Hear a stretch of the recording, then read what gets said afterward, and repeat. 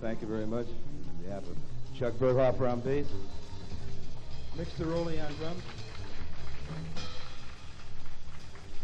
This concludes our first set. We'll be back.